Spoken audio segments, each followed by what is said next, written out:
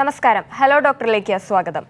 തണുപ്പ് കാലത്ത് ബാക്ടീരിയൽ വളർച്ച കൂടുതലായിരിക്കും. ഇതുമൂലം വൈറസുകളുടെ വ്യാപനം ശക്തിപ്പെടാനും അണുബാധകൾ വർദ്ധിക്കാനും ഇടയാക്കുന്നുണ്ട്. ഇതിൽ തന്നെ ചെവിയിലെ അണുബാധ ഒരു പ്രധാനപ്പെട്ട ഘടകമാണ്. ചെവിക്ക് എന്തെങ്കിലും സംഭവിച്ചാൽ അത് പെട്ടെന്ന് തന്നെ ചികിത്സിച്ച് ഭേദമാക്കാനാണ് നാം ശ്രദ്ധിക്കേണ്ടത്. ആരോഗ്യകരമായി ഇരിക്കുക എന്നുള്ളത് തന്നെയാണ് ആദ്യം ശ്രദ്ധിക്കേണ്ട കാര്യവും. ഇന്ന് ഹലോ ഡോക്ടറിൽ ചർച്ച ചെയ്യുന്ന വിഷയം ചെവിയിലെ അണുബാധയെക്കുറിച്ചാണ്. പ്രേക്ഷകരുടെ സംശയങ്ങൾക്ക് മറുപടി നൽകാനായി കൊല്ലം എൻ എസ് കോർപ്പറേറ്റീവ് ഹോസ്പിറ്റലിലെ E N T head and neck വിഭാഗം ഡോക്ടർ അനീഷ് കൃഷ്ണൻ നമുക്കൊപ്പമുണ്ട്. നമസ്കാരം ഡോക്ടർ. ഹലോ ഡോക്ടറിലേക്ക് സ്വാഗതം. നമസ്കാരം. പ്രേക്ഷകർക്കും സംശയങ്ങൾ ചോദിക്കാനായി സ്ക്രീനിൽ താഴെ കാണുന്ന നമ്പറിൽ വിളിക്കാം. ഡോക്ടർ ആദ്യം തന്നെ ഈ വിഷയവുമായി ബന്ധപ്പെട്ട് ചോദിക്കാനുള്ളത് ചെവിയിലെ അണുബാധ പല കാരണങ്ങൾ മൂലവും ഉണ്ടാകാറുണ്ടല്ലോ. ഇപ്പോൾ എങ്ങനെയാണ് ഇത്തരത്തിലൊരു അണുബാധ ഉണ്ടാകുന്നത് നമ്മൾ അറിഞ്ഞിരിക്കേണ്ട ശ്രദ്ധിക്കേണ്ട കാര്യങ്ങൾ എന്തൊക്കെയാണ്? അതെ. ചെവി ചെവിയെ നമ്മൾ സാധാരണഗതിയിൽ മൂന്ന് വിഭാഗമായിട്ടാണ് തിരിക്കുന്നത്. അതായത് ആന്തരിക കർണം മധ്യകർണം ബാഹ്യകർണം എന്നുള്ള രീതിയിൽ. ഇതിൽ ചെവിയുടെ അണുബാധ സാധാരണമായി കൂടുതലായി കാണുന്നത് ആന്തരിക കർണത്തിലും മധ്യകർണത്തിലുമാണ് ആന്തരിക കർണത്തിൽ ഉണ്ടാകാനുള്ള കാരണങ്ങൾ ഒരു വിധത്തിലാണ്. മധ്യകർണത്തിൽ ഉണ്ടാകാനുള്ള കാരണങ്ങൾ ഒരു വിധത്തിലാണ്. അപ്പൊ ആന്തരിക കർണത്തിനെ സംബന്ധിച്ച് നോക്കുകയാണെങ്കിൽ ആന്തരിക കർണത്തിൽ ലോക്കലൈസ്ഡ് ആയിട്ടുള്ള ഫറങ്കിൾ കുരുപ്പെന്ന് നമ്മൾ പറയും. കുരുപ്പ് അതുപോലെ തന്നെ ആന്തരിക കർണത്തിൽ മൊത്തത്തിൽ ഉണ്ടാകാവുന്ന ഒരു generalised infection diffuse otitis externa എന്ന് പറയും. അതുപോലെ പ്രമേഹമുള്ളവരിൽ ഉണ്ടാകാവുന്ന മാലിഗ്നന്റ് ഒട്ടൈറ്റിസ് എക്സ്റ്റേണ തുടങ്ങിയവയാണ് ആന്തരിക കർണത്തിൽ ഉണ്ടാകുന്നത്. പിന്നെ പൂപ്പൽ ബാധയായ ഒട്ടോമൈക്കോസിസ് അതായത് കാൻഡിഡയോ ആസ്പെർജിലസോ പോലുള്ള പൂപ്പലുകൾ ഉണ്ടാക്കുന്ന ഒട്ടോമൈക്കോസിസ് എന്ന് പറയുന്ന കണ്ടീഷനും ആന്തരിക ബാഹ്യകരണത്തിൽ വരാവുന്നതാണ്. മധ്യകർണത്തിനെ സംബന്ധിച്ച് നോക്കുകയാണെങ്കിൽ അത് ഒട്ടൈറ്റിസ് മീഡിയ എന്ന് പറയും. മധ്യകർണത്തിൽ സാധാരണഗതിയിൽ ചെവിയും മൂക്കും തമ്മിൽ കണക്ട് ചെയ്യുന്ന യൂസ്റ്റേഷ്യൻ ട്യൂബിന്റെ പ്രവർത്തനങ്ങളുടെ ബുദ്ധിമുട്ട് മൂലമാണ് സാധാരണഗതിയിൽ അണുബാധ ഉണ്ടാകുന്നത്. അപ്പം യൂസ്റ്റേഷ്യൻ ട്യൂബ് പ്രവർത്തിക്കാതെ വരികയും മധ്യകർണത്തിൽ സ്രവങ്ങൾ മൂക്കള പോലുള്ള സ്രവം അടിഞ്ഞു കൂടുകയും ഇൻഫെക്റ്റഡ് ആവുകയും അത് പൊട്ടി ഒലിക്കുകയും ചെയ്യുകയാണ് സാധാരണ സംഭവിക്കുന്നത്. അപ്പൊ നമ്മുടെ ഇപ്പോഴത്തെ ഒരു കാലാവസ്ഥാ സാഹചര്യം വെച്ച് നോക്കുകയാണെങ്കിൽ ഈർപ്പം അധികമുള്ളൊരു കാലാവസ്ഥയാണ്. മഴക്കാലമായതിനാൽ ഈർപ്പം അധികമുള്ളൊരു കാലാവസ്ഥയാണ്. ബാഹ്യകർണത്തിൽ ഉണ്ടാകുന്ന അണുബാധകൾക്ക് കൂടുതൽ സാധ്യത. അത് ഫംഗസ് ആയാലും ബാക്ടീരിയ ആയാലും അതിനുള്ള സാധ്യത കൂടുതലുള്ളൊരു സമയമാണ്. മധ്യകർണത്തെ സംബന്ധിച്ച് നോക്കുകയാണെങ്കിൽ ഈ കാലാവസ്ഥയിൽ തന്നെയാണ് കൂടുതൽ ജലദോഷവും മറ്റു കാര്യങ്ങളും ഉണ്ടാകുന്നത്. അപ്പൊ ഈ ജലദോഷം ഉണ്ടാകുമ്പോൾ സംഭവിക്കുന്നതെന്ന് വെച്ച് കഴിഞ്ഞാൽ മൂക്കുണ്ടാകുന്ന അതേ പ്രശ്നങ്ങൾ യൂസ്റ്റേഷൻ ട്യൂബിനുണ്ടാവുകയും ഈ സ്രവങ്ങൾ മധ്യകർണത്തിൽ അടിഞ്ഞുകൂടുകയും തൊണ്ടയിലോ മൂക്കിലോ ഉണ്ടാകുന്ന ബാക്ടീരിയ ചെവിയിലെത്തി ചെവിയിലത് അണുബാധ ഉണ്ടാക്കാനും ഉള്ള സാധ്യതയുണ്ട്. അപ്പൊ ഇങ്ങനെയാണ് ഇതാണ് ചുരുക്കത്തിൽ ഇതുമായിട്ട് ബന്ധപ്പെട്ട് പറയാനുള്ളത്. കൂടാതെ ഈ ചെവിയിലെ നമ്മുടെ ഈ ചെവി വൃത്തിയാക്കുന്നതിന് വേണ്ടി ചെവിയിൽ പിന്ന് ബഡ്സ് പോലുള്ള വിരൽ പോലുള്ള സംഭവങ്ങൾ ഉപയോഗിച്ച് ചെവി വൃത്തിയാക്കാൻ ശ്രമിക്കുമ്പോൾ ഈ ചെവിയുടെ നോർമൽ പ്രതലം പ്രതലത്തിൽ ഇഞ്ചുറി വരികയും ഈർപ്പം നിൽക്കുകയും ചെയ്താണ് ഈ ചെവിയിലെ ബാഹ്യകർണത്തിലെ അണുബാധ കൂടുതലായിട്ട് ഉണ്ടാകുന്നത് ശരി ഡോക്ടർ വ്യക്തമാണ്. ഇപ്പോൾ ഡോക്ടർ സംശയം ചോദിക്കാനായി പിണറായിൽ നിന്നും കരുണാകരൻ എന്നൊരു പ്രേക്ഷകൻ ചേരുന്നുണ്ട്. ഡോക്ടർ സംശയം ചോദിച്ചോളൂ. ഹലോ. ഹലോ. ആ പറഞ്ഞോളൂ കരുണാകരൻ. അതെ അതെ നമ്മൾ ചെറുപ്പകാലത്ത് നമ്മളെ അനുജന്മാർക്ക് എന്ന് പറഞ്ഞാൽ സ്ഥിരമായിട്ട് ചെവിയിൽ നിന്ന് ചോർച്ച മൂക്കിൽ നിന്ന് ജലദോഷം വരുന്നത് പോലെ ചെവിയിൽ നിന്ന് ഒലിപ്പ് വരുന്നുണ്ടായിരുന്നു. അപ്പോ ഈ ഒലിപ്പ് നമ്മളാരും അത്ര ശ്രദ്ധിച്ചില്ല. അപ്പോ പിന്നീട് അവർ. പ്രായപൂർത്തിയായപ്പോ അവർ ചെവി കേൾക്കാതെ ഒരു സംഭവം ഉണ്ടായി. അങ്ങനെ മണിപ്പാലിൽ പോയിട്ട് ഓപ്പറേഷന് വിധേയമാക്കേണ്ടി വന്നു. അപ്പൊ. അന്നത്തെ കാലം നമ്മളെ ചെറുപ്പകാലത്തുള്ള പറഞ്ഞാൽ ഈ ചെവി ചോർച്ച ആരും ഒരു രോഗമായിട്ട് പരിഗണിക്കുന്നില്ല. അപ്പൊ ഇത് ജനതയിൽ ഒരു നല്ലൊരു അവബോധം വളർത്തിയെടുക്കാൻ വേണ്ടി അന്ന് സാധിച്ചില്ല അപ്പോ അത് ഡോക്ടറുടെ അഭിപ്രായം എന്താണത്? ഈ ചെവി ചോർച്ചയെ സംബന്ധിച്ച്. അതെ അതെ. മിസ്റ്റർ കരുണാകരൻ പറഞ്ഞത് വളരെ യാഥാർത്ഥ്യമുള്ളൊരു കാര്യം തന്നെയാണ്. ഈ ചെവി ചോർച്ച എന്ന് പറഞ്ഞത് അദ്ദേഹം ഉദ്ദേശിച്ചത് നമ്മുടെ മൂക്കള പോലുള്ള സ്രവം ഉദ്ദേശിക്കുന്ന മധ്യകരണത്തിലെ അണുബാധ വരുന്നതിനെ പറ്റി തന്നെയാണ്. അപ്പം ഈ മധ്യകരണത്തിൽ നമ്മുടെ ചെറുപ്പകാലത്ത് അതായത് കുട്ടികളിലാണ് otitis media acute otitis media എന്ന് പറയുന്ന കണ്ടീഷൻ ഉണ്ടാവാനുള്ള സാധ്യത. അത് അക്യൂട്ട് ഒട്ടൈറ്റിസ് മീഡിയ ആറ് മാസത്തിൽ കൂടുതലായിട്ട് നിന്ന് കഴിഞ്ഞാൽ ക്രോണിക് ഒട്ടൈറ്റിസ് മീഡിയ എന്ന് പറയും. അപ്പൊ ഈ മൂക്കിനുണ്ടാകുന്ന വളവ് മൂക്കിലുണ്ടാകാവുന്ന ജലദോഷം കുട്ടികൾക്കാണെങ്കിൽ അഡിനോയിഡിന്റെ വലിപ്പം തുടങ്ങിയ ടോൺസിലിന്റെ വലിപ്പം തുടങ്ങിയ കാരണങ്ങൾ അതിനൊരു ഒരു അത് ഉണ്ടാകാനുള്ള സാധ്യത കൂട്ടുന്ന കാരണങ്ങളാണ്. അപ്പൊ അവിടെ ഇങ്ങനെ സ്രവം കെട്ടി നിന്ന് പൊട്ടി ഒലിക്കുകയും അവിടെ ഒരു ദ്വാരം ചെവിയുടെ കർണപടത്തിൽ ടിമ്പാനിക് മെംബ്രെയിനിൽ ഒരു ദ്വാരം ആവുകയും ആ ദ്വാരത്തിൽ കൂടെ ഈ പഴുപ്പ് ഒലിച്ചുകൊണ്ടിരിക്കുകയും ചെയ്യും. അപ്പൊ ആ സാധാരണഗതിയിൽ ആദ്യത്തെ ഒരു തവണ ഇത് ചെവി ചോർച്ച വരുന്ന സമയത്ത് ഈ കർണപടത്തിലെ ദ്വാരം തന്നെ അടയാനുള്ള ഒരു സാധ്യത ഉണ്ടാവും. ആറുമാസത്തിന് മുകളിൽ അങ്ങനെ ഒരു ദ്വാരം നിന്ന് കഴിഞ്ഞാൽ അത് പയ്യെ അതിന്റെ എഡ്ജസിൽ തിക്കനിങ് വന്നിട്ട് അത് തന്നെ അടയാനുള്ള സാധ്യത പയ്യെ കുറഞ്ഞു പോകും. അപ്പോൾ അത് ഓപ്പറേഷൻ ചെയ്ത് ആ ദ്വാരം അടയ്ക്കുക എന്നുള്ളതാണ് തുടരെ തുടരെ ഈ അണുബാധ വരാതിരിക്കാനുള്ള ഒരു മാർഗം. കാര്യം ഈ ദ്വാരമുള്ള കർണപടമുള്ള ചെവിയിൽ നമ്മൾ കുളിക്കുമ്പോഴോ നീന്തുമ്പോഴോ അല്ലെങ്കിൽ വെള്ളവുമായിട്ട് പെരുമാറുന്ന മറ്റ് സാഹചര്യങ്ങൾ വരുമ്പോൾ വെള്ളം ഈ ദ്വാരം വഴി ചെവി മധ്യകർണത്തിനുള്ളിലേക്ക് പോകുമ്പോൾ വീണ്ടും വീണ്ടും തുടരെ തുടരെ ഈ അണുബാധ വരാനുള്ള സാധ്യതയുണ്ട്. തുടരെ തുടരെ വരുന്ന അണുബാധ നമുക്കിപ്പോൾ നാഡി ചെവിയിലെ കേൾവിക്കുറവ് രണ്ട് വിധത്തിലാണ് വരുന്നത്. നാഡീ സംബന്ധമായിട്ടും ശബ്ദം ഉൾ ഉൾച്ചെവിയിലേക്ക് എത്തുന്നതിനുള്ള തടസ്സം മൂലം ഉണ്ടാവുന്നത്.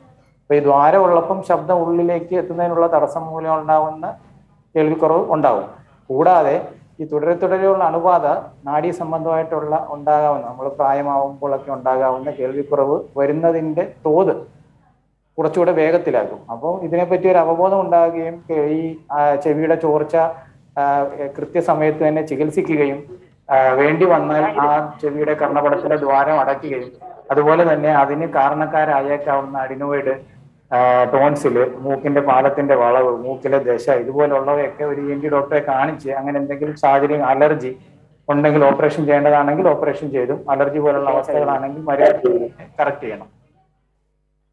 ശരി ഡോക്ടർ കരുണാകരൻ എന്ന പ്രേക്ഷകനായിരുന്നു വിളിച്ചത്. അദ്ദേഹത്തിന് വ്യക്തമായിട്ടുണ്ടാകുമെന്ന് പ്രതീക്ഷിക്കുന്നു. ഇപ്പോൾ കരുനാഗപ്പള്ളിയിൽ നിന്നും അബ്ദുൾ മജീദ് എന്നൊരു പ്രേക്ഷകൻ കൂടി ചേരുന്നുണ്ട്. ഡോക്ടറോട് സംശയം ചോദിച്ചോളൂ. സാറേ ഇത് കരുനാഗപ്പള്ളിയിൽ നിന്ന് അബ്ദുൾ മജീദ് എന്ന് പറയുന്ന ഒരു രോഗിയാണ്. എന്റെ ഷുഗറിന്റെ ഷുഗർ ഉണ്ട് കൊറോണ വന്നിരുന്ന്. അതിനുശേഷം ഞാൻ എൻ എസിൽ കിടന്നായിരുന്നു. എൻ എസിൽ കിടന്നിട്ടുണ്ട്. അത് കഴിഞ്ഞ് വന്ന് അതിനുശേഷം ഇപ്പൊ എന്റെ ഈ ഇടത് ചെവിയുടെ ഉള്ളിൽ വെള്ളം പോലെ അങ്ങ് ചൊറിച്ചിൽ വരും. ഇടയ്ക്ക് ഇച്ചിരി ബ്ലഡ് വന്നിരുന്നു. അന്നേരം നല്ല ചൊറിച്ചിലാണ് ചൊറിച്ചിലാ വരുന്നത്. അപ്പൊ നല്ല ഈ പഴുപ്പ് പോലുള്ള സാധനം ചില സമയങ്ങളിലൊക്കെ ചെവിയിൽ നിന്ന് വരുന്നുണ്ട്. അതിന് എന്താണ് ചെയ്യേണ്ടതെന്ന് എന്താ കാരണമെന്ന് ചോദിക്കാൻ വേണ്ടിയിട്ട് വിളിച്ചു. മജീദിന് എത്ര നാളായിട്ടാണ് ഷുഗർ ഉള്ളത്? പ്രമേഹം എത്ര നാളായിട്ടുണ്ട്? കേട്ടില്ല. പ്രമേഹം എത്ര നാളായി ഉണ്ട്? ഷുഗർ ഷുഗർ ഷുഗർ എത്ര നാളായിട്ടുണ്ട്? ഷുഗർ വന്നിട്ട് ഇരുപത്തഞ്ച് വർഷത്തോളമായി. ഇരുപത്തഞ്ച് വർഷത്തോളം. Okay okay. ഇൻസുലിൻ ആണോ ഗുളികകളാണോ? അത് ഇൻസുലിനും ഉണ്ട് ഗുളികയും ഉണ്ട്. കൂടുതലായി. കൂടുതലാ ആഹാരത്തിന് ശേഷമുള്ള ഷുഗർ വളരെ കുറവാണ്. ഓക്കെ അതായത് പ്രമേഹമുള്ള മജീദ് ശ്രദ്ധിക്കേണ്ട വളരെ പ്രധാനപ്പെട്ട ഒരു കാര്യം. ചെവിയിൽ ചൊറിയുകയോ എന്തെങ്കിലും വെച്ച് കൈകാര്യം ചെയ്യുകയോ വിരൽ ഉൾപ്പെടെയുള്ള സാധനങ്ങൾ വെച്ച് കൈകാര്യം ചെയ്യുകയോ ചെയ്യരുത്. കാര്യം ഞാൻ നേരത്തെ പറഞ്ഞതുപോലെ തന്നെ അങ്ങനെ ചെയ്യുന്ന സമയത്ത് ചെവി ഉണ്ടാകുന്ന മുറി മുറിവുകളോ മറ്റെന്തെങ്കിലും ഉണ്ടായിട്ട് മുറിവുകൾ പോലുള്ള സാഹചര്യം ഉണ്ടായിട്ട് അതിൽ അണുബാധ വരികയും പ്രമേഹം വന്നു കഴിഞ്ഞാൽ ഈ അണുബാധ പെട്ടെന്ന് തന്നെ ചെവിയുടെ ഒരു പ്രത്യേകത ചെവിയുടെ തൊക്കിന്റെ കവറിങ് കഴിഞ്ഞാൽ പിന്നെ അതിന്റെ അസ്ഥിയാണ്. അപ്പൊ ആ അസ്ഥിയിലേക്ക് അണുബാധ പല കഴിഞ്ഞാൽ പിന്നെ നമ്മൾ ചികിത്സിക്കാൻ വളരെ ബുദ്ധിമുട്ടേണ്ടി വരും. അതായത് കൂടുതൽ ആന്റിബയോട്ടിക്കുകൾ തുടർച്ചയായി എടുക്കേണ്ടെന്ന സാഹചര്യം വരും. അതുപോലെ തന്നെ കുറെ തുടർച്ചയായി ഗുളികകൾ കഴിക്കേണ്ടുന്ന സാഹചര്യം വരും. എന്നിരുന്നാൽ തന്നെയും അത് അസുഖം മുന്നോട്ട് തന്നെ പൊക്കോണ്ടിരിക്കുന്ന ഒരു സാഹചര്യം. മാലിഗ്നൻ ഡൊട്ടൈറ്റിസ് എക്സ്റ്റേണേ എന്ന് പറയും. അപ്പം ഇപ്പം ഇപ്പോഴത്തെ സാഹചര്യത്തിന് ഒരു ഡോക്ടറെ കാണിച്ച് അതിന്റെ ചെവിയിലെ പഴുപ്പോ മറ്റു അഴുക്കുകളോ ഉണ്ടെങ്കിൽ അത് ക്ലീൻ ചെയ്യുകയും ഷുഗറിനെ ഞാൻ ഞാൻ കോ- പിന്നെ നമ്മുടെ കോട്ടയം മെഡിക്കൽ കോളേജിൽ ഇരുന്ന് സദർ ഡോക്ടർ ഉണ്ട് ഇപ്പൊ എറണാകുളം എറണാകുളത്തുള്ള. ഹലോ സാറേ എറണാകുളത്താണ് ഇപ്പൊ പുള്ളി പുള്ളി എന്റെ ആണ്. എന്റെ പുള്ളിയെ ഞാൻ കാണിച്ചിട്ടുണ്ടായിരുന്നു. ഇടയ്ക്ക് ചൊറച്ചിൽ വരുമ്പോ ഞാൻ ഈ തുണി ചുറ്റി ഈർക്കലിൽ ചുറ്റിയിട്ട് കറക്കുമായിരുന്നു അത് പാടില്ല അല്ലേ? ഒരു കാരണവശാലും ചെയ്യരുത്. നമ്മൾ സ്വന്തം നമ്മളുടെ വിനാശകാലം വരുത്തുന്നതിന് തുല്യമാണ് ചെവിയിൽ ഈ ചൊറിച്ചിലും അസ്വസ്ഥതയും പിന്നെ ചെയ്യാൻ പാടില്ലല്ലോ. അതെ അതെ. ചെയ്യരുത് ചെയ്യരുത്. പിന്നെ ഒട്ടും സഹിക്കാൻ പറ്റില്ലെങ്കിൽ ചെവിയിലെ ചൊറിച്ചിൽ നിയന്ത്രിക്കാൻ ക്രീമുകളുണ്ട്. അത് ഡോക്ടറെ വന്ന് കണ്ടതിന് ശേഷം അവർ എഴുതി തരും. എന്നിരുന്നാലും നമ്മൾ ഇത് ചെയ്യത്തില്ലെന്നുള്ളൊരു തീരുമാനം എടുത്തു കഴിഞ്ഞാൽ നമുക്ക് വരാകാവുന്ന ഇതിനെ തുടർന്ന് വരാകാവുന്ന അണുബാധകൾ നമ്മൾക്ക് വളരെയധികം നിയന്ത്രിച്ച് നിർത്താൻ പറ്റും. എന്നുള്ളതാണ്. ശരി ഡോക്ടർ. Thanks okay. നന്ദി നന്ദി. ശരി ആ പ്രേക്ഷകന് വ്യക്തമായിട്ടുണ്ടാകുമെന്ന് പ്രതീക്ഷിക്കുന്നു. ഡോക്ടർ ചെവിയിൽ അണുബാധയുണ്ട് എന്ന് നമ്മൾ എങ്ങനെയാണ് മനസ്സിലാക്കേണ്ടത്? എന്തൊക്കെ ലക്ഷണങ്ങളാണ് ഇതിനു മുൻപായി കാണിക്കുക? സാധാരണഗതിയിൽ ബാഹ്യകരണത്തിലെ ഒട്ടൈറ്റിക്സ് എക്സ്റ്റേണ പോലുള്ള അണുബാധ വരുമ്പോൾ വേദന. അതായത് ചെവിയിൽ വേദന. ചെവിയിൽ ഒരു കുരുപ്പായാലും ഫംഗസ് ആയാലും ഡിഫ്യൂസ് ഒട്ടൈറ്റിസ് എക്സ്റ്റേണ ആയാലും അതിന്റെ ഒരു ഒരു പ്രധാനപ്പെട്ട ലക്ഷണം എന്ന് പറയുന്നത് ചെവി വേദനയാണ്. ചെവി വേദനയുടെ കൂടെ ഇത് മുന്നോട്ട് പോകും തോറും ചെവിയിൽ പഴുപ്പ് വരിക. അതുപോലെ തന്നെ ചെവിയിൽ ബ്ലഡ് കലർന്ന ഡിസ്ചാർജ് വരിക. അതായത് സ്രവം വരിക. അതുപോലെ പനി ചിലർക്ക് പനി ഇതിന്റെ കൂടെ വരിക എന്നുള്ളവയാണ് ഇതിന്റെ പ്രധാനപ്പെട്ട ലക്ഷണങ്ങൾ. അപ്പോൾ കൂടെ എന്തെങ്കിലും ചെവിയിലിട്ട് നമ്മൾ പറഞ്ഞ പോലെ നേരത്തെ പറഞ്ഞ പോലെ ചെവിയിൽ സ്ഥിരം ബഡ്സ് ഉപയോഗിക്കാൻ സാധ്യതയുള്ളവർ അല്ലെങ്കിൽ വിരലിട്ട് ചെവി കറക്കുന്നവർ താക്കോലിട്ട് കറക്കുന്നവർ തൂവലിട്ട് കറക്കുന്നവർ അങ്ങനെ ഇവരൊക്കെ ഇങ്ങനെയൊക്കെ ഉള്ളവരിൽ ഇതുണ്ടാകാനുള്ള സാധ്യത കൂടുതലാണ്. അപ്പൊ അങ്ങനെയൊക്കെ ഉള്ളവർ ആ വേദന വന്നു കഴിഞ്ഞാൽ ഇത് ഇത് ആയിരിക്കാം എന്നുള്ളൊരു സാധ്യത മനസ്സിൽ വെക്കുക എന്നുള്ളതാണ്. പിന്നെ ബാഹ്യ മധ്യകർണത്തിലെ ഇൻഫെക്ഷൻ അണുബാധ അതായത് ഒട്ടൈറ്റിസ് മീഡിയ ആണെങ്കിൽ ഈ പറഞ്ഞതുപോലെ തന്നെ ചെവി വേദനയും പനിയും കാണും. കൂടെ നേരത്തെ വന്ന് തൊട്ട് മുമ്പായിട്ട് വന്ന ഒരു ജലദോഷം അല്ലെങ്കിൽ ഒരു മൂക്കലിപ്പ് അങ്ങനെയുള്ള ഒരു സാഹചര്യം അതിന്റെ കൂടെ കാണും.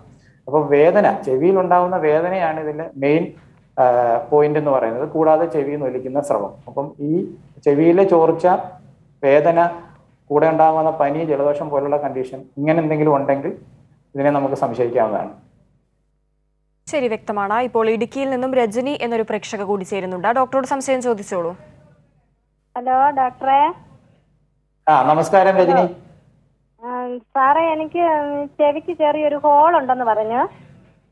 ഓക്കെ. പിന്നെ ചെവിക്കകത്ത് ഈ കഴിഞ്ഞ ഒരു അഞ്ചെട്ട് മാസമായിട്ട് പഴുപ്പ് ഒഴുകിക്കൊണ്ടിരിക്കുവായിരുന്നു. അണുബാധയായിരുന്നു. പിന്നെ അതിന്റെ ചികിത്സ നോക്കിക്കൊണ്ടിരിക്കുമായിരുന്നു അത് അണുബാധ അങ്ങ് മാറി കഴിഞ്ഞപ്പോഴത്തേന് ഇയർ ബാലൻസിന്റെ പ്രശ്നമാണ് ഇപ്പൊ പറയുന്നത് ഇപ്പൊ എനിക്ക് കുനിയാനോ ഒന്ന് വരാനോ മുകളിലോട്ട് നോക്കാനോ ഒക്കെ ഭയങ്കര ബുദ്ധിമുട്ടാണ്. ഭയങ്കരമായിട്ട് തലകറക്കം വേച്ചു പോകുന്ന പോലെ അങ്ങനെയൊക്കെ ഒരു പ്രശ്നമുണ്ട് സാറേ. ഓക്കെ. അപ്പം ഇപ്പോൾ രജനി പറഞ്ഞത് വെച്ചിട്ട് രജനിക്ക് രണ്ട് പ്രശ്നങ്ങളാണ് ഉള്ളത് ഒന്ന് ചെവിയിലെ അണുബാധയും അല്ലെങ്കിൽ ചെവിയിലെ ആ ദ്വാരവും. രണ്ട് കുനിയുമ്പോഴും നൂരുമ്പോഴും ഒക്കെ ഉണ്ടാകാവുന്ന ഉണ്ടാകുന്ന തലകറക്കം. തലകറക്കം അല്ലേ സംഭവിക്കുന്നത് രജനി? തലകറക്കമാണ് എല്ലാവരും അവസ്ഥയാണെന്ന് നമുക്ക് പറയാൻ പറ്റത്തില്ല. തല ഇങ്ങനെ വേച്ച് പോലും വിറയ്ക്കുന്ന പോലെ തോന്നുവാണ്. ഓക്കെ. സാധാരണഗതിയിൽ ചെവിയുമായി ബന്ധപ്പെട്ട് വരുന്ന തലകറക്കങ്ങൾക്ക് നമുക്ക് തല ചുറ്റുന്നത് കണക്ക് തന്നെ തോന്നാറുണ്ട്. അങ്ങനെ ഉണ്ടെങ്കിൽ അത് ആന്തരിക കർണത്തിലെ ചെവിയുടെ ബാലൻസിനെ നിയന്ത്രിക്കുന്ന ഒട്ടോലിത്ത് എന്ന് പറയുന്ന ഒരു ക്രിസ്റ്റൽ ഉണ്ട് ആ ക്രിസ്റ്റൽ വെസ്റ്റിബ്യൂൾ എന്ന് പറയുന്ന സ്ഥലത്താണ് ഇരിക്കുന്നത്. അവിടുന്ന് മാറി അത് സെമി സർക്കുലർ കനാൽ അർദ്ധവൃതാകൃതിയിലുള്ള കനാലിലേക്ക് മാറുമ്പോൾ ഉണ്ടാകാവുന്ന പൊസിഷണൽ വർട്ടേഗോ എന്ന് പറയും. ബെനൈൻ പരോക്സിമൽ പൊസിഷണൽ വർട്ടേഗോ അത് അത് ആവാനാണ് സാധ്യത. ചുറ്റി ചുറ്റിയുള്ള കറക്കം പോലെ ഉണ്ടെങ്കിൽ കുനിയുമ്പോഴോ നൂരുമ്പോഴോ കട്ടിലിൽ കിടക്കുമ്പോഴോ എഴുന്നേൽക്കുമ്പോഴോ അങ്ങനെ സംഭവിക്കുന്നുണ്ട്. ആ, അങ്ങനെ കിടക്കുമ്പോ ഒരു വശത്തോട്ട് നമ്മൾ ഇങ്ങനെ തല ചിരിക്കുമ്പോൾ ഭയങ്കരമായിട്ട് ഒരു ബുദ്ധിമുട്ട്. എന്നാ ഒരു അവസ്ഥയാണ് നമുക്ക് അന്നേരം പറയാൻ പറ്റുന്നില്ല. അതേ പറയാൻ പറ്റത്തില്ല. ചിലപ്പോൾ ഛർദിക്കാനും ഒക്കെ തോന്നാറ തോന്നും. അങ്ങനെ ഉണ്ടെങ്കിൽ അതൊരു അങ്ങനെ തോന്നാൻ ഭ- ഭക്ഷണം കഴിക്കാൻ തോന്നത്തില്ല. ഛർദിക്കുന്നില്ല ഞാൻ അതിങ്ങനെ ഈ ഗർഭാനസ് ഉള്ളവർക്ക് ഛർദി ഉണ്ടാകാറുണ്ട്. പക്ഷെ എനിക്ക് അങ്ങനെ ഛർദിയില്ല എനിക്കിങ്ങനെ ഈ. കിടക്കുമ്പോ ഉള്ള ഒരു പ്രശ്നം അത് ഭയങ്കര ഒരു പ്രശ്നമാണ് എന്തായാലും അവിടുത്തെ ഒരു ഇ എൻ ടി ഡോക്ടറെ കാണിച്ച് ഇതാണോ എന്നുള്ളത് പരിശോധിച്ചു കഴിഞ്ഞാൽ ഇതാണെന്നുണ്ടെങ്കിൽ ഇതിനെ റീപൊസിഷൻ ചെയ്യുന്ന എക്സർസൈസുകളുണ്ട്. പിന്നെ അതുപോലെ തന്നെ ഇത് വന്നാൽ ഇതിന്റെ തീവ്രത കുറയ്ക്കുന്നതിനുള്ള എക്സർസൈസസും ഉണ്ട്. അപ്പം അത് രണ്ടും അവിടെ ഡോക്ടറെ കാണിക്കുമ്പോൾ അവരത് ചെയ്യുകയും അത് പറഞ്ഞു തരികയും ചെയ്യും. കൂടാതെ കർണപടത്തിനുണ്ട ദ്വാരം തുടർച്ചയായിട്ട് അണുബാധ വരുന്ന ആളാണെങ്കിൽ അതായത് ചെവിയിൽ നിന്ന് പഴുപ്പും മറ്റും ഇടയ്ക്കിടയ്ക്ക് വരുന്ന ആളാണെങ്കിൽ കർണപടത്തിനുള്ള ദ്വാരം ഡോക്ടറെ കാണിച്ച് അത് ഓപ്പറേഷൻ ചെയ്യേണ്ട സാഹചര്യം ഉണ്ടെങ്കിൽ ശസ്ത്രക്രിയ ചെയ്ത് അടയ്ക്കാനും അതിന് അതിന് കാരണമായിട്ടുള്ള അലർജി അതുപോലെ മൂക്കിന്റെ പാലത്തിന്റെ വളവ് പോലുള്ള മറ്റു പ്രശ്നങ്ങളുണ്ടെങ്കിൽ അതും അഡ്രസ് ചെയ്യാനായിട്ട് അതും ചികിത്സിക്കാനായിട്ടുള്ള കാര്യങ്ങളും രജനി എടുക്കേണ്ടതാണ്. സാറേ പിന്നെ ഒരു സംശയം. ഈ ഈ ഹോൾ ഉണ്ടെന്ന് പറഞ്ഞല്ലോ? അതെ. ഹലോ? ആ പറഞ്ഞു പറഞ്ഞു പറഞ്ഞോളൂ ഹോൾ ഹോളുള്ള ഹോളുള്ള കൊണ്ട് ചെവിക്ക് ഒരു ചെറിയ കേൾവിക്കുറവ് പോലെയുണ്ട്. അതെ അതെ. അതായത് ചെവിയുടെ കർണപടത്തിന് ദ്വാരം ഉള്ളപ്പോൾ നമുക്ക് ഏകദേശം ഒരു നാൽപ്പത് മുതൽ നാൽപ്പത്തഞ്ച് ഡെസിബൽ വരെ കേൾവിക്കുറവ് ഉണ്ടാവാനുള്ള സാധ്യതയുണ്ട്. സാധാരണഗതിയിൽ ഈ കേൾവിക്കുറവ് ഈ ഓപ്പറേഷൻ ചെയ്ത് ദ്വാരം അടയ്ക്കുമ്പോൾ ഈ നാൽപ്പത് ഡെസിബിളിൽ ഒരു ഇരുപത് രസീബിൽ വരെയൊക്കെ നമുക്ക് തിരികെ ലഭിക്കുന്നതാണ്. അത് ഈ ശസ്ത്രക്രിയ ചെയ്യുന്ന സമയത്ത് ചെവിക്കകത്തെ ചെറിയ അസ്ഥികളുണ്ട്. മാലിയ സിംഗസ് സ്റ്റേപ്പിസ് ഈ അസ്ഥികൾക്കുണ്ടാകാവുന്ന ശോഷണവും ഒക്കെ അനുസരിച്ചിരിക്കും അത് തിരിച്ചെത്രത്തോളം കേൾവിയാണ് കിട്ടുന്നതെന്നുള്ളത് അത് കേൾവിയും കൂടെ പരിശോധിച്ചതിന് ശേഷം ഈ ദ്വാരം അടയ്ക്കുന്നതിനെ പറ്റി ഡോക്ടറെ കണ്ട് ചിന്തിക്കേണ്ടതാണ്. സാറേ പിന്നെ ഒരു സംശയം കൂടെ. ഈ ഇയർ ബാലൻസ് ഉണ്ടെങ്കിലേ ഇത് സ്ഥിരമായിട്ട് ഇങ്ങനെ ഉണ്ടാകുമോ അല്ല അതിന് സ്ഥിരമായിട്ട് മരുന്ന് കഴിക്കുകയോ വല്ലതും ചെയ്യേണ്ട വരുമോ രജനി ഞാൻ നേരത്തെ പറഞ്ഞതുപോലെ ഈ ഒരു വട്ടം ഈ ബാലൻസിന്റെ പ്രശ്നം വന്ന ഏകദേശം പകുതിയോളം പേർക്ക് അത് വീണ്ടും വരാനുള്ള സാഹചര്യം ഉണ്ട്. അത് കൂടുതലും വരുന്നത് മൂന്നാൽ മാസം മുമ്പ് ഒന്ന് വന്നിരുന്നു. അത് ഒന്ന് അങ്ങ് പരിച്ചാതെ മാറിയായിരുന്നു. അത് കഴിഞ്ഞ് പിന്നെ ഇപ്പൊ രണ്ടു മൂന്ന് ആഴ്ചയായിട്ടുണ്ട്.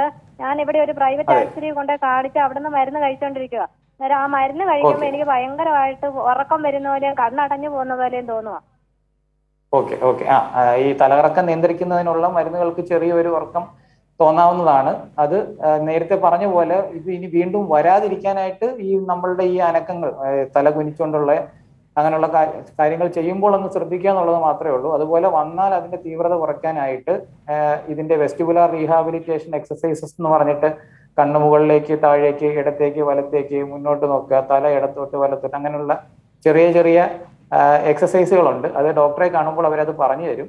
ആ എക്സസൈസുകൾ ചെയ്തുകൊണ്ടിരുന്നു കഴിഞ്ഞാൽ നമുക്ക് ഈ തലകറക്കം വരുന്ന സമയത്ത് അതിന്റെ തീവ്രത കുറവായിരിക്കും. ശരി ആ പ്രേക്ഷകർക്ക് വ്യക്തമായിട്ടുണ്ടാകുമെന്ന് പ്രതീക്ഷിക്കുന്നു. വീണ്ടും നമ്മൾ ചോദ്യങ്ങളിലേക്ക് തന്നെ തിരിച്ചു വരികയാണെങ്കിൽ ഇപ്പോൾ മഴക്കാലമാണ്. ഈ ഒരു തണുപ്പ് കലർന്ന ഒരു കാലാവസ്ഥയും ചെവിയിൽ അണുബാധ ഉണ്ടാകുന്നതിനുള്ള ഒരു കാരണം തന്നെയാണല്ലോ. ഇതിപ്പോൾ കുട്ടികളെ മുതിർന്നവരെക്കാൾ കൂടുതലായി നമ്മൾ കാണുന്നത് കുട്ടികളിലാണ്. ഇതിനുള്ള ഒരു കാരണവും പ്രതിവിധിയും എന്താണ്? നമ്മൾ നേരത്തെ പറഞ്ഞതുപോലെ ഈ നമ്മുടെ കേരളത്തിലെ ഒരു കാലാവസ്ഥ ഹ്യൂമിഡ് അറ്റ്മോസ്ഫിയർ ആണ്. അതായത് അന്തരീക്ഷം ഈർപ്പം നിറഞ്ഞതാണ്. അപ്പൊ നമ്മുടെ മഴക്കാലം തണുപ്പ് മാത്രമല്ല വളരെയധികം ഈർപ്പം. ഈർപ്പം എന്ന് പറയുന്നത് ഫംഗസുകൾക്ക് വളരാൻ വളരെയധികം സാഹചര്യം ഒരുക്കി കൊടുക്കുന്ന ഒരു സ്ഥിതിയാണ്. അതായത് ഇപ്പൊ നമ്മളൊരു ബ്രെഡ് കഴിക്കാൻ ഉപയോഗിക്കുന്ന ബ്രെഡ് തന്നെ എടുത്ത് ഒരു ഒരു ദിവസം വെളിയിൽ വെച്ച് കഴിഞ്ഞാൽ ബ്രെഡ് പൂപ്പലടിക്കുക അതുപോലെ ഒരു സാഹചര്യമാണ് ചെവിയിലും. പക്ഷേ ചെവിയിലെ ഒരു ഒരു സാഹചര്യം എന്ന് വെച്ച് കഴിഞ്ഞാൽ ചെവിയുടെ പ്രതലം അതിന്റെ എപ്പിത്തീലിയം അതിന്റെ സ്കിൻ ലൈനിങ്ങിൽ നമ്മൾ പ്രത്യേകിച്ച് വ്യത്യാസങ്ങൾ അത് അതിന്റെ ലൈനിങ്ങിനോ അതിന്റെ പി എച്ചിനോ വ്യത്യാസങ്ങളൊന്നും വരുത്താതിരിക്കുക. അതായത് ചെവിയിലൊന്നും തോണ്ടാതിരിക്കുക ചെവിയിൽ മറ്റ് ലൈനുകളൊന്നും എടുത്ത് ഒഴിക്കാതിരിക്കുക ചെവിയിൽ മദ്യകരണത്തിനുള്ള അണുബാധ കാരണമുള്ള പഴുപ്പ് വരാതിരിക്കുക അങ്ങനെയുള്ള സാഹചര്യം ഉണ്ടെങ്കിൽ ഈ അണുബാധ വരാനുള്ള സാഹചര്യം കുറവാണ്. അപ്പൊ നമുക്ക് ചെയ്യാൻ കഴിയുന്നത് ചെവിയിൽ ഒന്നും ഇടാതിരിക്കുക എന്നുള്ളതാണ് പ്രധാനമായിട്ടും. അതുപോലെ നീന്തൽ ഇങ്ങനെ വരാൻ സാധ്യത ഉള്ളവർ നീന്തലിന് പോകുമ്പോഴും അല്ലെങ്കിൽ വെള്ളവുമായിട്ട് ബന്ധപ്പെട്ട് മറ്റു കാര്യങ്ങൾ ചെയ്യുമ്പോഴും ഒരു നീന്തലിന് പോകുന്നവർ ക്യാപ്പ് ഉപയോഗിക്കുക. അല്ലെങ്കിൽ മറ്റ് ഉള്ളവർ കുളിക്കുന്ന സമയത്ത് പഞ്ഞിയിൽ എണ്ണ തടവിയിട്ടോ അല്ലെങ്കിൽ വാസലിൻ തടവിയിട്ടോ ചെവിയുടെ വെളിയിൽ വെച്ച് കഴിഞ്ഞാൽ ഇത് വരുന്നതിന്റെ തീവ്രത കുറയ്ക്കാവുന്നതാണ്. ശരി ഡോക്ടർ. വ്യക്തമാണ്. ഇപ്പോൾ കണ്ണൂരിൽ നിന്നും അനിത എന്നൊരു പ്രേക്ഷക ചേരുന്നുണ്ട്. ഡോക്ടറോട് സംശയം ചോദിച്ചോളൂ. സാർ എന്റെ രണ്ട് ചെവിയിൽ ഒരു ഭാഗത്തെ ചെവി പൂപ്പൽ കയറിയിട്ടും മറ്റേ ഭാഗത്തെ ചെവി ഓൾസോ ആണ്. അപ്പൊ ഡോക്ടറെ കണ്ടപ്പോ അവർ ക്ലീൻ ചെയ്തു. പക്ഷെ എങ്കിലും എനിക്ക് ചൊറിച്ചിൽ ചെറുതായിട്ടുണ്ട് ഈ പൂപ്പൽ വന്ന ഭാഗത്ത്. മറ്റേ ഭാഗത്ത് അവർ ഓപ്പറേഷൻ ചെയ്യാന്ന് പറഞ്ഞത് സക്സസ് ആവുമോ എന്നുള്ളൊരു പേടി കൊണ്ടാണ് വിളിച്ചു നോക്കുന്നത് സാർ. ഓക്കെ. രണ്ട് പ്രശ്നങ്ങളാണ് പേരെന്താ പേരെന്തായിരുന്നു പറഞ്ഞ? അനിത. ആ അതെ അനിത നമസ്കാരം. രണ്ട് പ്രശ്നങ്ങളാണ് അനിത പറഞ്ഞത്. ഒന്ന് ഒരു ചെവിയിൽ ചൊറിച്ചിൽ കാരണം ഉണ്ടായ പൂപ്പൽ ബാധ.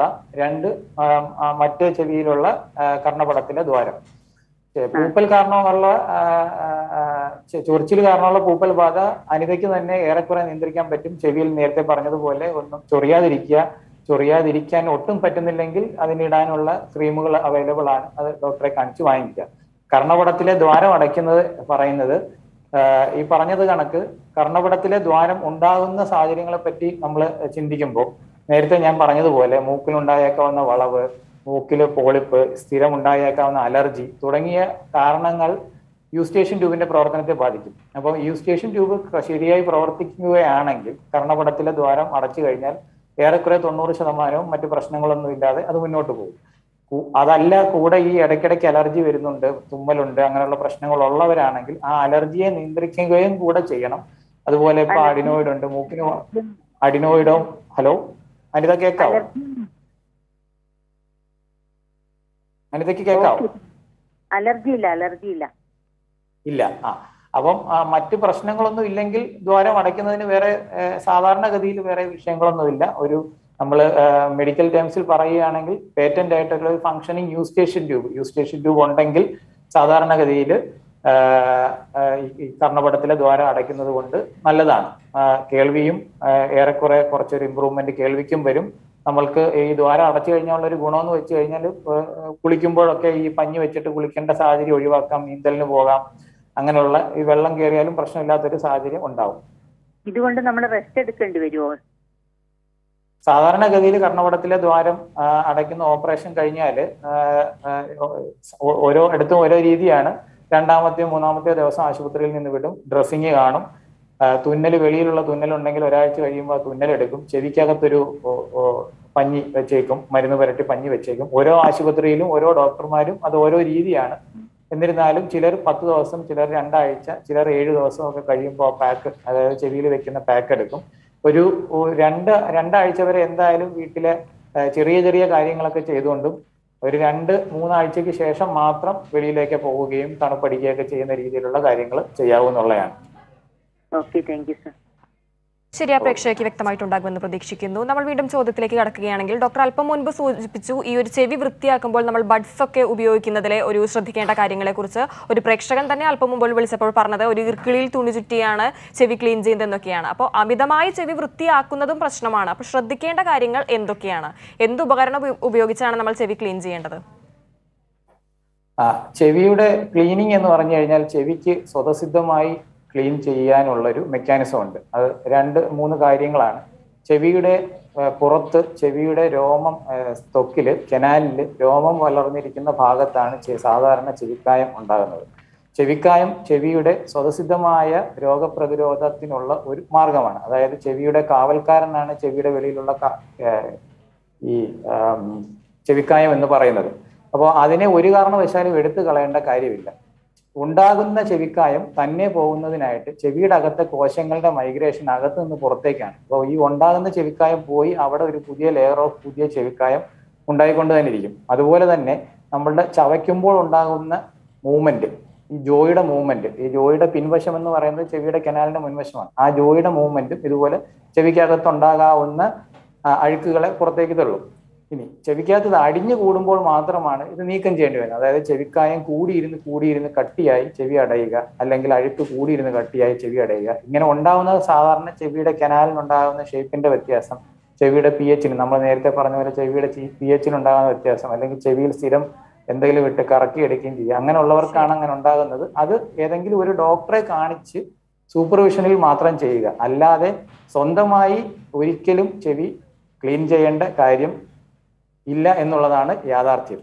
ചെവി സ്വയം ആളുകൾ ക്ലീൻ ചെയ്യുന്നത് കൊണ്ടാണ് ചെവിയിലുള്ള രോഗങ്ങൾ വരുന്നതും ഇത്തരം രോഗികൾ ഉണ്ടാകുന്നതും ശരി ഡോക്ടർ. വ്യക്തമാണ്. നമ്മുടെ ഹലോ ഡോക്ടറിന്റെ സമയം ഇവിടെ അവസാനിക്കുകയാണ്. ചെവിയിലെ അണുബാധയെക്കുറിച്ചാണ് ഇത് ഹലോ ഡോക്ടറിൽ ചർച്ച ചെയ്തത്. പ്രേക്ഷകരുടെ സംശയങ്ങൾക്കെല്ലാം മറുപടി നൽകിയത് കൊല്ലം എൻ എസ് കോർപ്പറേറ്റീവ് ഹോസ്പിറ്റലിലെ E N T head and neck വിഭാഗം ഡോക്ടർ അനീഷ് കൃഷ്ണനാണ്. വളരെയധികം നന്ദി ഡോക്ടർ. ഹലോ ഡോക്ടർ അവസാനിക്കുകയാണ്. നമസ്കാരം.